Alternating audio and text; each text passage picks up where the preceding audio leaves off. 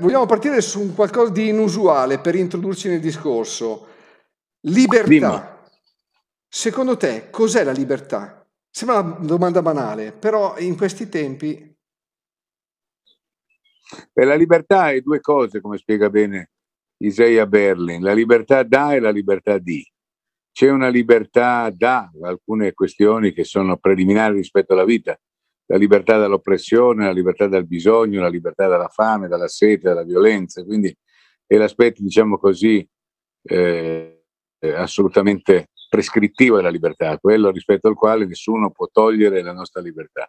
E poi c'è la libertà di, che è la libertà di pensiero, la libertà di azione, la libertà di elaborazione, la libertà di ricerca, e che è l'aspetto fondamentale dell'umano. Se una delle due libertà viene meno, l'uomo non è più libero, ma diventa uno schiavo, cioè diventa un servitore, un robot, una vittima, un prigioniero, e quindi la libertà è fondativa della stessa condizione umana. Ecco, eh, in questo contesto penso che i diritti umani abbiano il suo posto.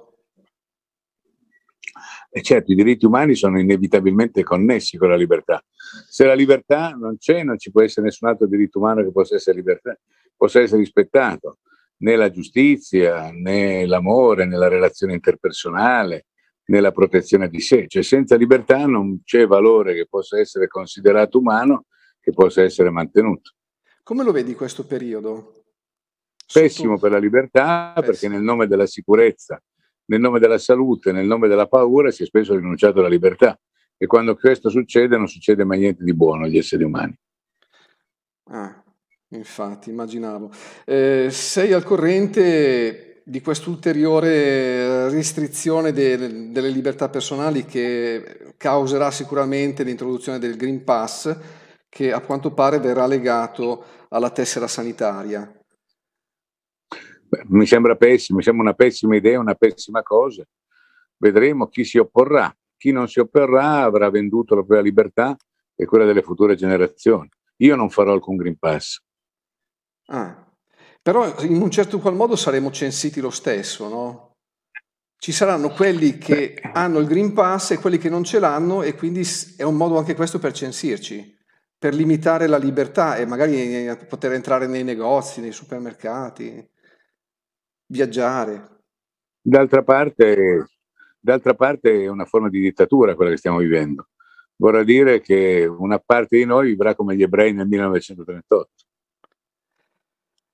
Eh, a proposito di ebrei nel 1938, secondo te questa dittatura è un problema esclusivamente italiano o mondiale? È sicuramente, in... problema, è sicuramente un problema planetario, perché poi ha come orizzonte tecnologico quello dell'algoritmizzazione dell'uomo attraverso le nanotecnologie e la riduzione dell'uomo a macchina.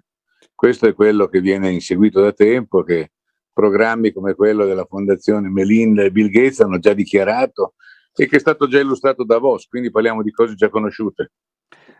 Ci sono secondo te dei paesi che al momento sono fuori da questa dittatura sanitaria? Sicuramente la Russia, sicuramente i paesi che sono nella sua orbita, alcuni stati degli Stati Uniti, quelli governati dai repubblicani come il Texas o la Florida, alcuni stati del Middle West, qualche paese latinoamericano come il Brasile eh, e qualcun altro, qualche paese africano, anche se lì qualche presidente che si è opposto Bene, sono stati, ne sono morti sei di fila, quindi mi pare che la cintura si stia stringendo per la cinesizzazione del mondo.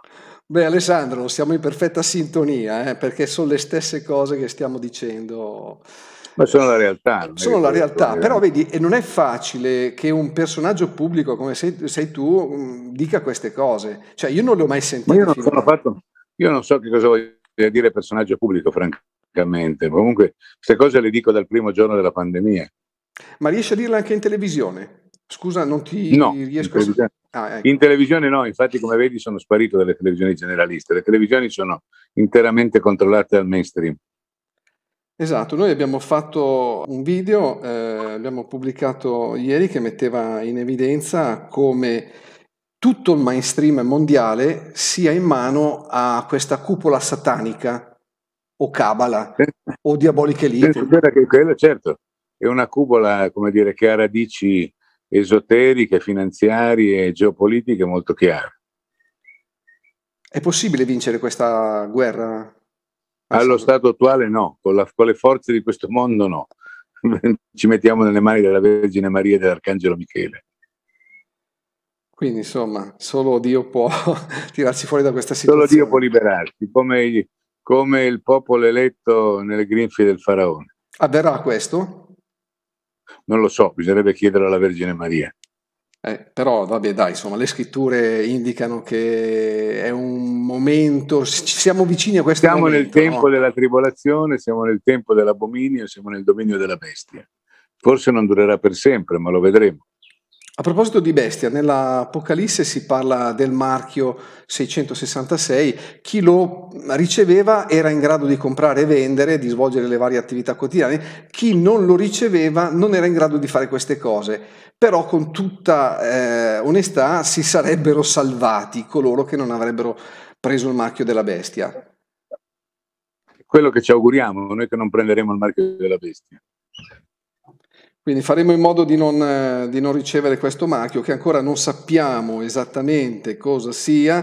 Si sta intravedendo che ci sono dei sistemi che stanno impedendo alle persone di, di, di fare le attività quotidiane se non hanno determinati eh, accessori, diciamo così, anche dentro di sé. Certo. I microchip veicolati anche attraverso le, nano, le nanoparticelle saranno lo strumento che verrà utilizzato insieme alla totale eh, algoritmizzazione del pianeta anche attraverso la penetrazione di sistemi a 5G ad alta penetrazione. Ecco, dal punto di vista psicologico, eh, mi pare che questo momento sia caratterizzato più che da una fase di depressione generalizzata, da una mancanza di felicità.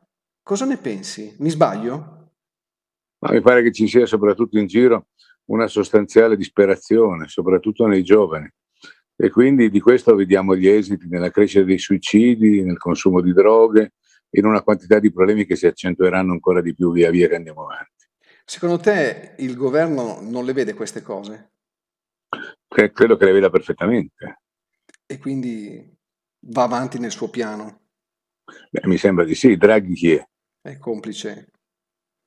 Eh, mi sembra più che complice, che complice direi mi pare che venga proprio dai vertici di quella cupola. Sì, sì, il gruppo dei 30. Eh, certo.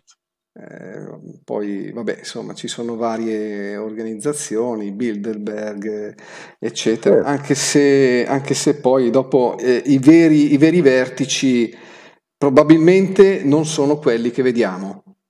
I veri vertici sono fatti da superiori sconosciuti, ignoti persino a chi è nei gradi più alti della gerarchia della piramide. Eh, secondo quello che tu sai, c'è qualcuno in Italia di questi vertici sconosciuti? Non te lo so dire francamente, non sono così addentro a queste dinamiche da poter sapere alcunché di chiaro. Hanno a che fare col satanismo? Questo quasi sicuramente, anzi credo sicuramente. Sicuramente, lo possiamo affermare con certezza. Sì. E quindi è una battaglia spirituale, la si può vincere solo con forze spirituali, quindi solo Dio intervenendo. Bisogna affidarsi alla potenza di Dio, alla Santissima Trinità, alla Vergine Maria e all'Arcangelo Michele. E con questo pensiero credo che ci possiamo congedare. Va bene, Alessandro, ti ringraziamo tanto. Un abbraccio forte. Questo bel pensiero, un abbraccio. Ciao. Prima di concludere volevo ringraziare gli amici della Bife International, una delle innumerevoli piccole e medie aziende del Made in Italy di successo che consiglia Ciquerzin, un integratore innovativo che associa vitamina C, quercetina e zinco per il buon funzionamento del sistema immunitario. La vitamina C contenuta in Ciquerzin è una formulazione a rilascio prolungato. La quercetina protegge la vitamina C dall'ossidazione e ne favorisce l'assorbimento. Lo zinco piccolinato contenuto in Ciquerzin è la forma più biodisponibile. La BIFE, quando ha saputo che YouTube ci ha privato degli introiti pubblicitari e degli abbonati, ha deciso di dare anch'essa un contributo a favore della libertà di tutti gli italiani. Carissimi amici del canale YouTube Dentro la Notizia, un vivo ringraziamento a tutti voi che aiutate con le vostre donazioni la libera informazione a tutela del popolo. Senza il vostro aiuto, di cui vi siamo profondamente grati, non potremo crescere e migliorare il nostro servizio informativo. Chi fosse interessato a sponsorizzare la propria azienda su questo canale può contattarci tramite le mail in descrizione. Per essere avvisati sull'uscita dei nostri video potete iscrivervi al canale, mettere un like, attivare la campanella e condividere i video. Più siamo, più forza avremo. Uniti si vince! Un abbraccio dal vostro Roby.